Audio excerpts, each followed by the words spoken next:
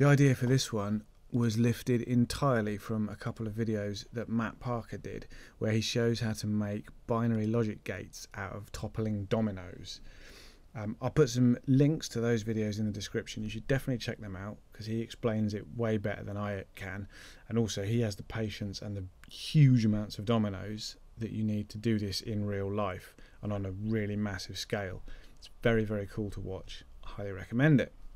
I just wanted to see if I could get them working in Algodoo, and it turns out they actually work quite nicely.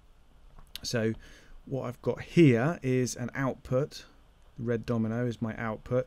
This represents a 0 if it stays standing and a 1 if it falls over.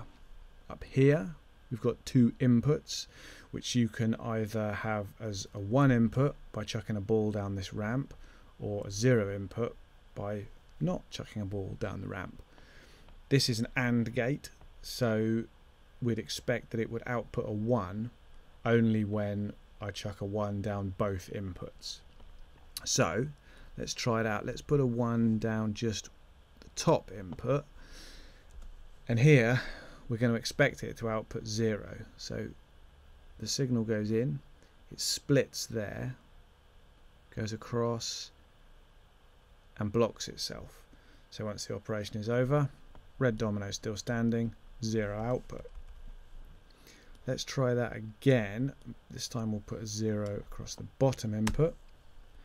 And again we're expecting a zero output here. And that signal just dies doesn't go anywhere. Now we'll run a 1 across both inputs. And here we're expecting an output of 1 so we're expecting the red domino to fall so you can see it splits again but this time the blocking signal can't get through and so at the end of the operation the red domino falls output of 1. That's a, working AND gate in Algodoo dominoes. Next up, I also have an exclusive OR gate. This works similar kind of principle, except here we expect an output of 1, a fallen domino, if you put a 1 across either of the inputs when the other input is a 0.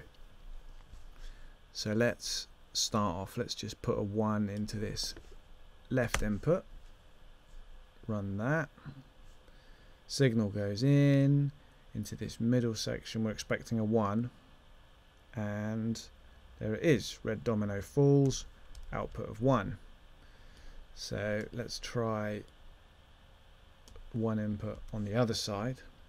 And here we expect just the exact mirror image of what we just saw ending in a fallen red domino 1 output. And there it is. Bish bash bosh. Now we'll try a 1 on both of them. And here we're expecting a 0 output so the red domino shouldn't fall. And you see the signal goes in blocks itself in the middle. So that works as we'd expect as well very cool now if you watch the Matt Parker videos you'll see he sort of takes elements of these chains them together into a binary half adder which is the basis of doing binary calculations. I've set one up here. Now what this does is it counts the number of inputs you give it.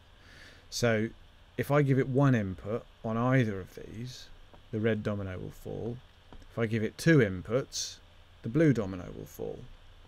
So first thing we'll try, let's put a 1 onto this left hand one and what we're expecting here is the red domino to fall. It's a very slow circuit. Check out the little slide I put in, pretty cool. And there you go, the red domino falls and that signal over there is just a blocker which you'll see working in a second. Now let's try putting a 1 across the other input and again we're expecting just the red domino to fall here so see there's a split in the signal there.